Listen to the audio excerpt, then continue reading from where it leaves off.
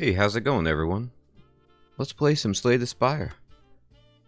So we're on Ascension 20 like usual here with the defect, and let's let's give it a go. Alright, well, what you got for us? Transform, three potions, a curse for 14 hit points, or a random boss relic. Well,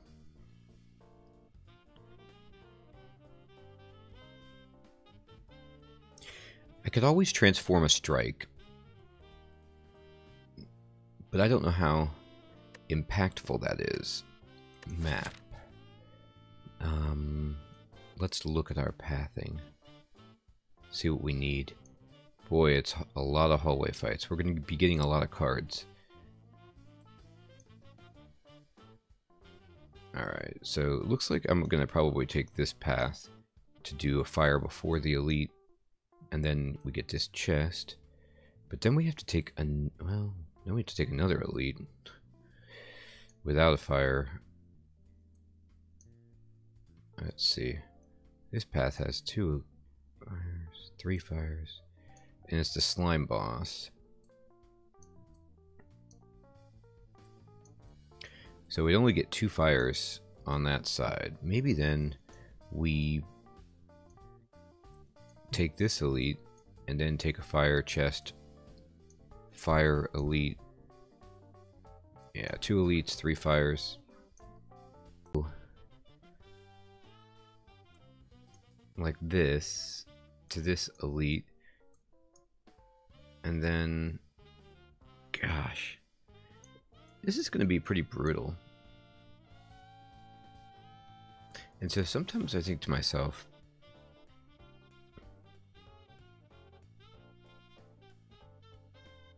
when I get a brutal path, sometimes you need to take extreme measures. So I don't know if transforming a card is going to be significant enough. I'm going to take a, a random boss relic. Oh, holy smokes. Okay, so we got Snecko for the first relic. This will be interesting. Um, Snecko is, report, you know, purported to be excellent by Jorbs and, you know, many other players, I assume. Um, I'm still not that great with it. This deck does not like it so much because everything costs one. So sometimes we can get a discount, but other times we're going to be sitting here with like a def basic defend that costs 3 energy. So that stinks. However, what it means is that we get the opportunity to try to get cards that are really expensive and exploit the discount. So now that that is the case, I might want some more hallway fights to be able to get cards that I can use with the Snecko. So maybe I take this chunky path up to this elite. This is kind of crazy. I probably will lose too many hit points. This will be easy, easy, easy, and then we're on a hard one already, and we get no break. We could go up here and get a break here, take this elite, but then, um, maybe what we want to do is still continue with the path that we were on, like this, and then we do get a bunch of cards later in the run. Maybe we can find a, an expensive card at this shop. Let's see what we do. Right, see? Every single one of my cards is more expensive than normal, meaning I can only play one card for this whole turn. And because I swapped the boss relic for my starter relic, I can't even dual cast. Yeah, this is going to be a doozy. We'll see if we can turn the corner with this. Okay, here we go. The Snecko giveth, and the Snecko taketh away. That's pretty hilarious. We will not kill this guy, but we can we can block really well. So it went from like the worst Snecko hand to a really good Snecko hand.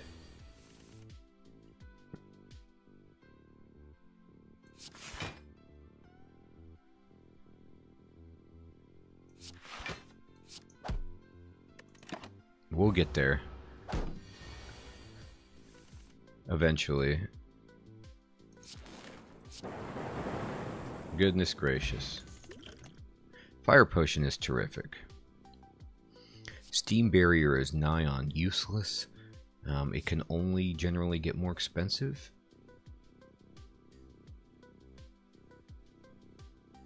Sweeping Beam is okay, even though it does cost just one. Alright, so we can get fun stuff right here. Um, I'll just take an Equilibrium because it's the only card that costs two.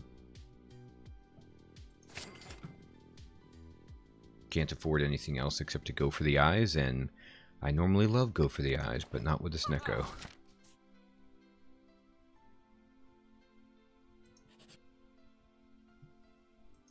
Yeah, we're gonna try to get a relic. Okay, cool. We get a we get a flower. All right. Well. Of course, my equilibrium was not discounted that time. Pretty pretty silly, but still, it's just a good enough card to carry us in a fight like this.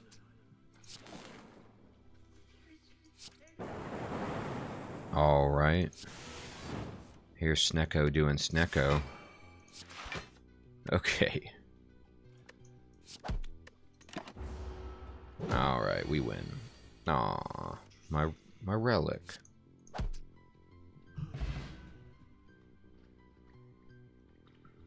Be nice to have timed that out for the elite fight, but... Yes! Now this is what I'm talking about. This is the kind of card you want with Snecko. This is... These are unreal cards um, for right now in Act 1. Love these cards. But we're going for the, the extreme discount. I'm going to buy three potions and pick the best two.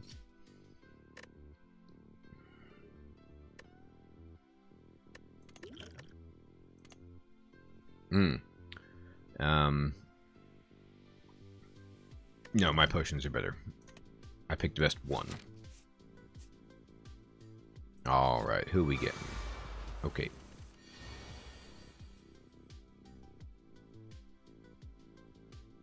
Alright, so we will equilibrium strike strike and next turn, we should be able to kill this guy with a fire potion. And then use our entropic brew. Fill up our potion, see what we got. Oh, buddy. You see? Alright, Snecko. Alright.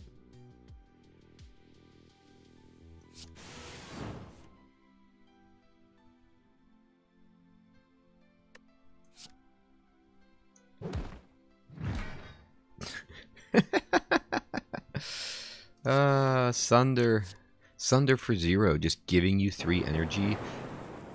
Anything less than three, if it gives you extra energy, is just ridiculous. Alright.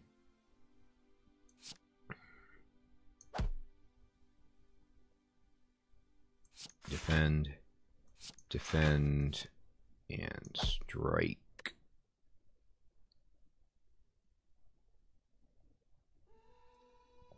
I'm actually just going to kill this guy right now so I don't get any more dazed. And, um, just try and win the fight right out. Aww.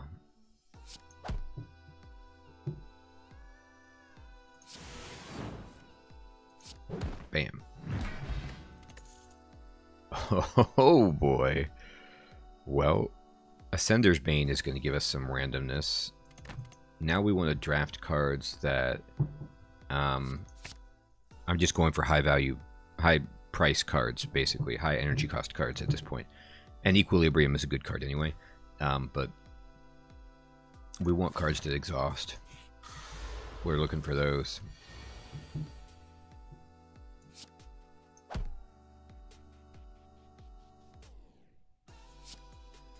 Do I want to retain this hand? Not really, to be honest. I don't want to have a, you know, a zap that's that expensive. I think I'll just bop this guy and move on. Dead Branch gives us reprogram. Well, actually, reprogram is genius with this deck.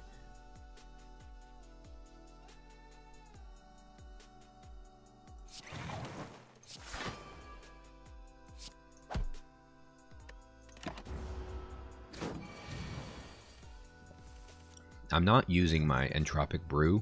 I'm going to save it for if I need a potion, because if I get a potion, I want to have a space for it. Like this.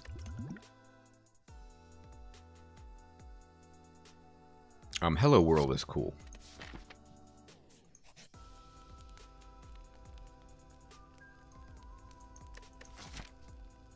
I'm going to get another fire before this elite, so let's go ahead and upgrade something. I think upgrading Sunder makes the most sense because it gives us a better chance to get the energy back with some like huge hand that we've kept with um, Equilibrium. You know, we have like some 10, 9 or 10 card hand. Well, 10's not possible, but yeah, just some huge hand. And then we play this and then get 3 extra energy if it's discounted. Zap, upgrading Zap and um, dual cast is pretty much pointless.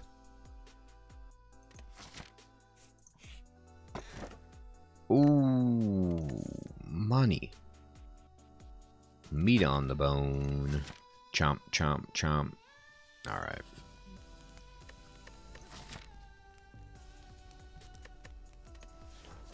Now, let's see I fight Gremlin Nob here. Just, I think Sunder carries me through that fight.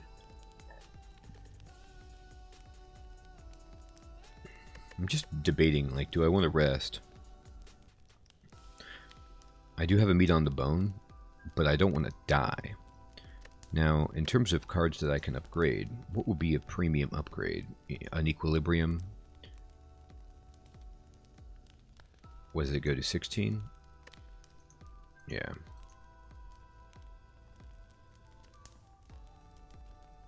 It's not that huge of a deal. I'm just going to rest. Okay, we get Lagavulin.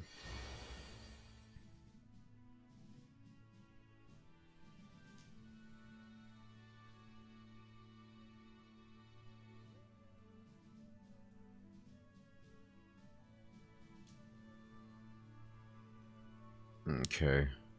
I'll go ahead and hello world and pass. Here we go. Here we go.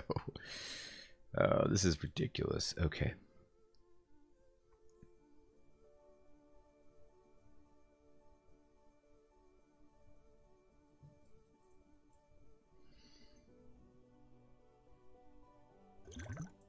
Drink Blessing of the Forge. Okay. Now that's an interaction I was not aware of.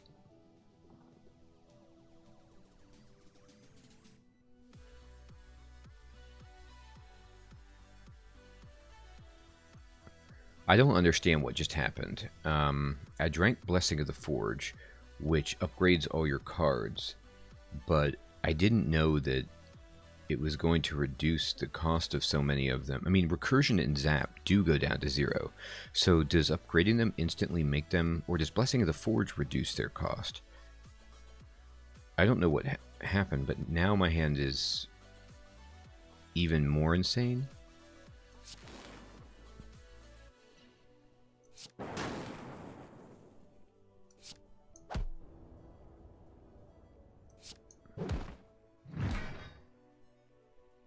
Um, so I'm actually going to play Equilibrium to keep these cards for next turn's blocking. And then we'll get something with Dead Branch. Well, we get a Steam Barrier, but luckily... It's actually the advertised price. Alright, so we can dual cast and then strike. I can also just do this and this. Um, I'll hold on to stack. No, I don't get to hold on to it, so play this. That's pretty good. And then we'll just do this. Take one damage. Mm-hmm. Mm-hmm. no, goodness gracious.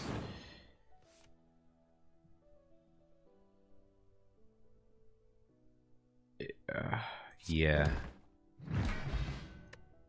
Ah, cool.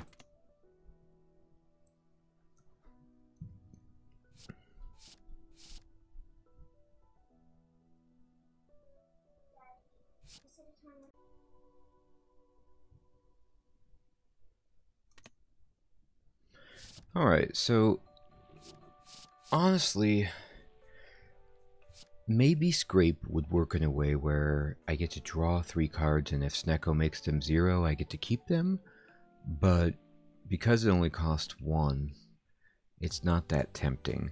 Now, Rebound, I need to understand better about how Snecko works, but if I get a card that costs zero that's been reduced and I rebound it, does it cost the reduced cost, or does it get a new cost randomized? I think it gets a new cost, so I don't know how useful any of these would be, so I'm not going to take one. I'm going to actually go to this shop instead of, you know, all those hallway fights. Okay, well, Glacier is getting purchased every every time here. And then I think what I'll do is actually remove a card. Um, I think I'll just remove a strike. Something like that that I don't want to see. You know what, though? Dual cast, well, maybe later dual cast will be worthwhile.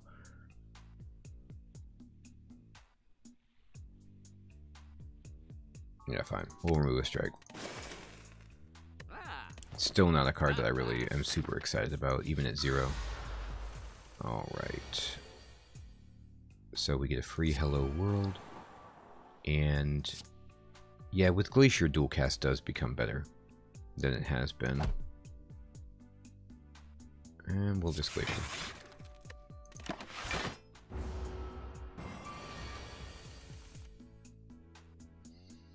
Oh, look at these shenanigans.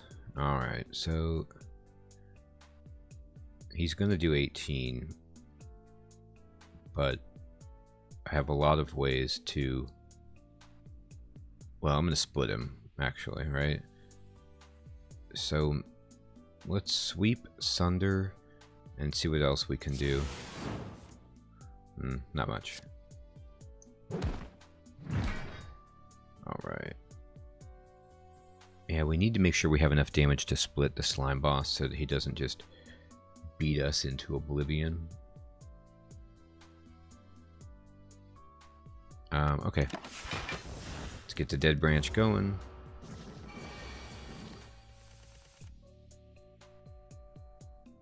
Alright. Well, let's sweep. Very nice. Um, I am gonna See, I don't know if these costs persist or not. Or this if it's just remembering the, the costs that they were. I'm going to see how it works. I'm going to just test out Scrape here. So, because my hand was so full, but I did it did work with Equilibrium. Like I got a zero cost Equilibrium from Scrape. So that's kind of interesting interaction to to bear in mind.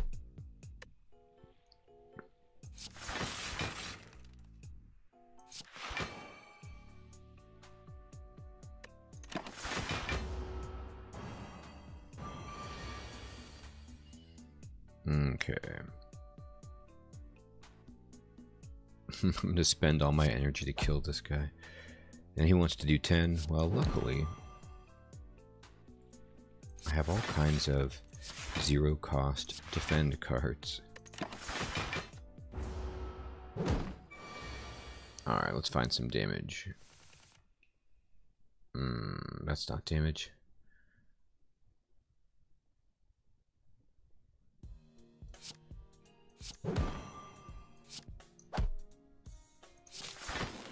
Almost dead. I think... Yeah. Okay. Sweet potion of capacity is just great.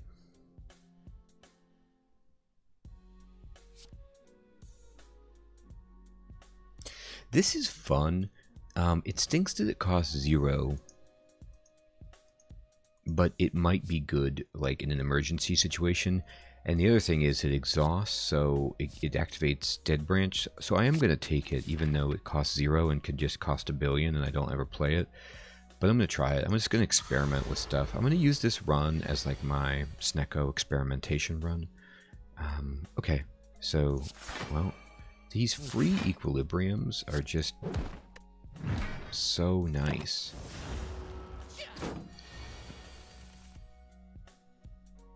My hand is full.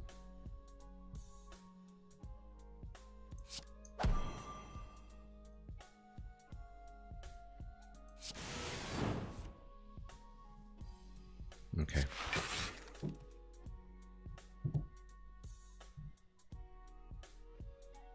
I don't really need any of this stuff, so I'm not going to equilibrium.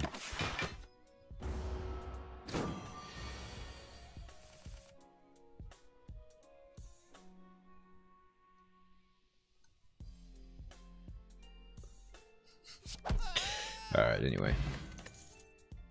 Mmm. I think I would rather have... Well, you know what? What card would I really want to duplicate? Sunder? Yeah, it's pretty much just Sunder. And, you know, another Sunder. Alright. So... This is an opportunity to upgrade a card.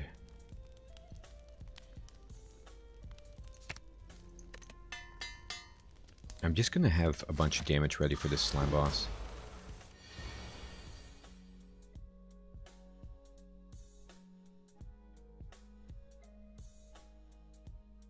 I might play this right now.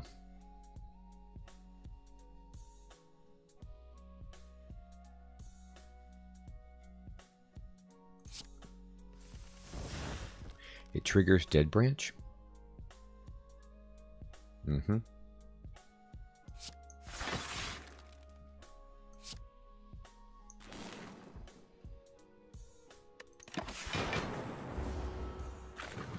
Alright, so I think if I duplicate this, we do 64.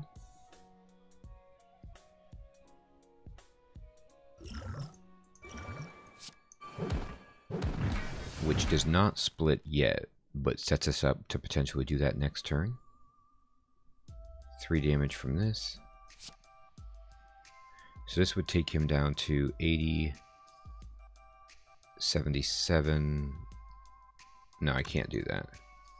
I don't want to split him. Ooh. Very nice. Alright, cool. Let's make this as easy as humanly possible on us. Do this. Do that. Um, and I'm just going to put Hello World over Biased Cognition. No, I'm not. So we'll have two 21s.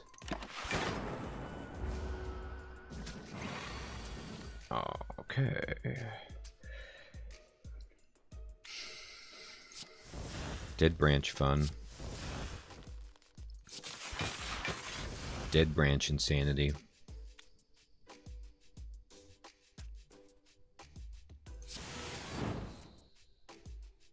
Alright.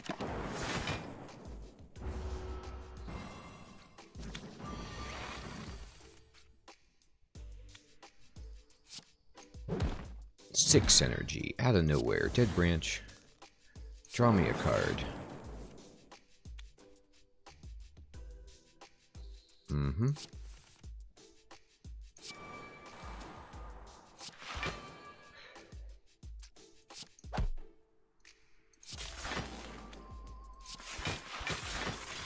Can we block the damage from this guy? I don't know.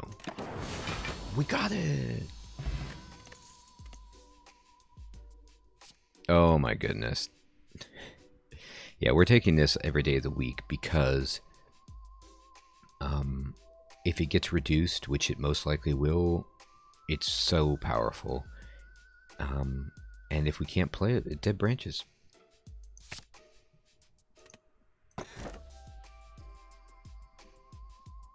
You know what?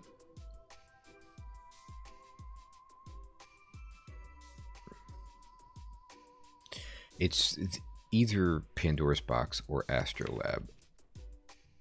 I think I'm going to take Pandora's Box. Because Astrolabe...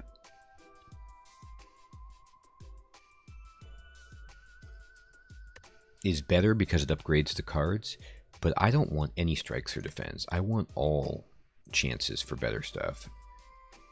Oh boy. So multicast is kind of fun because it's always it's X, so it never messes around. A cheaper fusion would be great. A third sunder is funny. This, this isn't the best. I mean, boot sequence. Um, I'm wondering because it's innate, if you because you start with it in your hand, if that doesn't count as drawing it, so Snecko doesn't tamper with its cost. If it if Snecko doesn't mess with its cost, then I'm happy with this. Anyway, this should be exciting. This is a hilarious run, and we're fighting a champ. All right, so Echo Form should do some work. So we are just having this ridiculous. We've got some extremely powerful relics. Meat on the Bone, Dead Branch, Snecko Eye. We even have a Happy Flower. We have um, Omamori to insulate us against some of these events that want to deal us curses. So we're in a very, very interesting spot, but I like our spot. Um, I have a small deck that has, I mean, extreme value. If I'm just chucking out 32 for like, you know, zero energy and then getting energy back, oh goodness. Now, the only thing is, Sunders, while they are good, um, you know, after a while you stop being able to out damage people when you need to defend, but I do have the Glacier. So we'll just try to bolster up our defenses a bit and see how this goes. Oh, that's right. We also got two Equilibriums, which are super helpful. All right, everybody, thank you so much for watching this episode of Let's Play Slay the Spire here on Ascension 20 with the defect. We got a Snecko, and it looked really dangerous on that first round of the first fight, and then everything else has been just a Snecko party. So let's see if we can keep this Snecko party going against the champ in Act 2.